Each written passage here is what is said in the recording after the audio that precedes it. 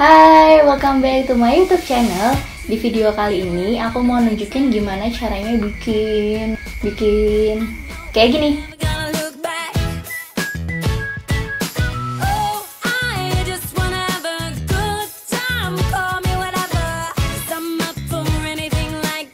Iya, yang kayak gini.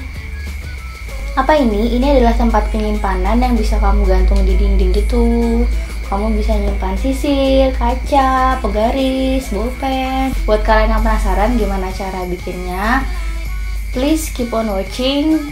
Sebelumnya jangan lupa untuk subscribe ke channel ini buat kalian yang belum subscribe.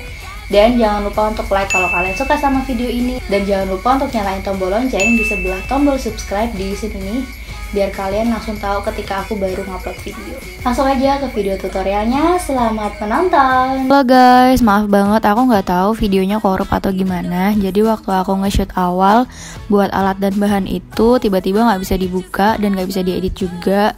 I'm so sorry guys. Jadi alat dan bahan yang kamu butuhkan adalah kain katun, kain yang kalian punya aja deh di rumah nggak harus kain katun. Yang penting motifnya beda. Terus kalian butuh gunting, butuh lem uhu, butuh benang rajut, dan kalian juga butuh penggaris dan pensil. Oke, selamat menonton.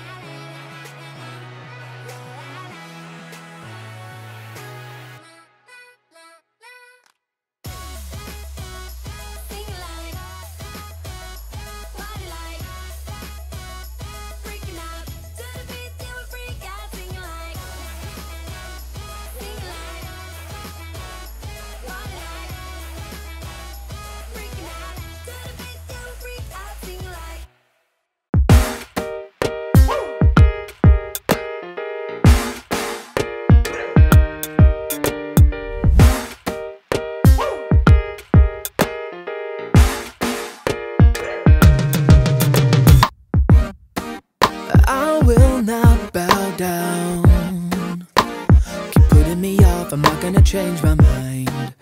Your headstrong forward. But this time around, I'm taking my time, don't push me. I'm not coming down, I'm not giving up. Oh, don't rush me. I made up my mind,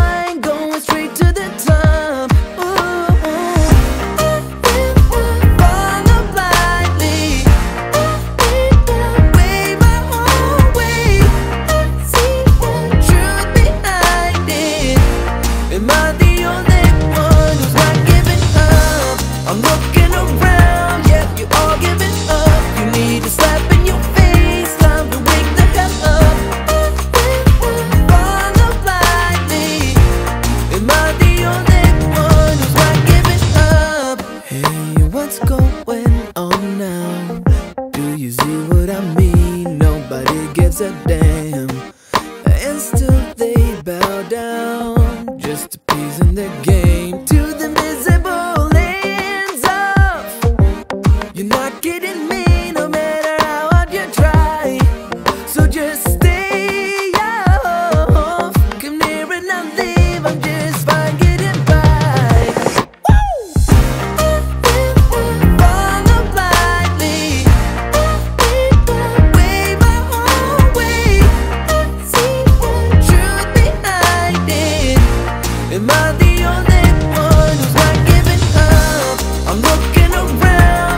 All give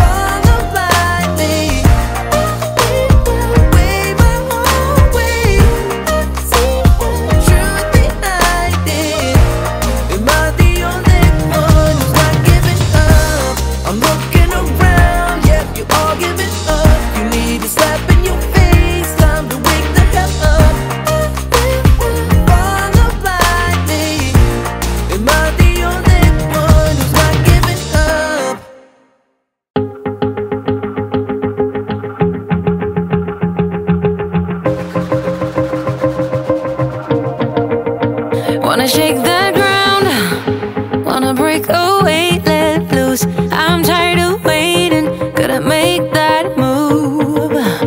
All the neon signs, now they shout to me